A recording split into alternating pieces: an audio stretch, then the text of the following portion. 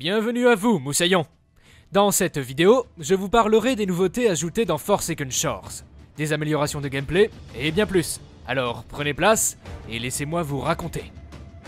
Dans ce tout nouveau DLC, nous voyageons dans de nouvelles contrées, plus mouvementées, plus volcaniques.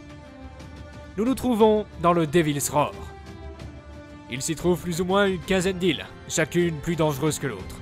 Donc, pirates d'eau douce, fouillez Vous rencontrerez des volcans en éruption. Méfiez-vous des projections de roches en fusion qui se révèlent meurtrières et dotées d'une grande portée. Ainsi que, sous pas, des geysers qui ne cesseront de vous faire voltiger. De plus, attention aux tremblements de terre, qui vous feront valser, vous et votre bateau.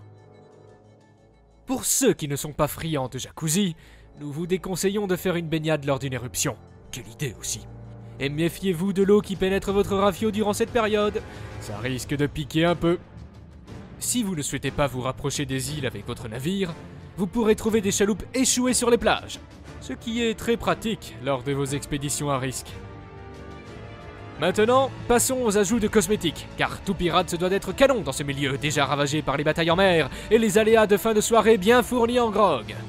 Tout d'abord, si vous souhaitez avoir un look cendré, vous avez accès temporairement aux skins d'armes, d'objets et de navires cendres Forsaken, qui sont disponibles auprès de Duke à la taverne, lorsque vous finissez la campagne, ainsi que dans les boutiques d'objets de l'avant-poste de Devil's Roar. Ensuite, si vous avez un petit penchant pour les crustacés et notre bon vieil ami le kraken, vous pourrez vous vêtir de la panoplie du crabier et du kraken. Et si vous êtes un grand passionné, vous pourrez également retaper votre rafio dans ces styles-là.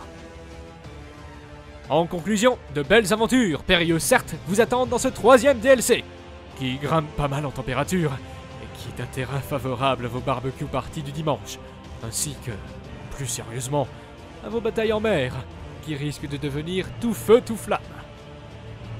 Merci à vous d'avoir visionné cette vidéo.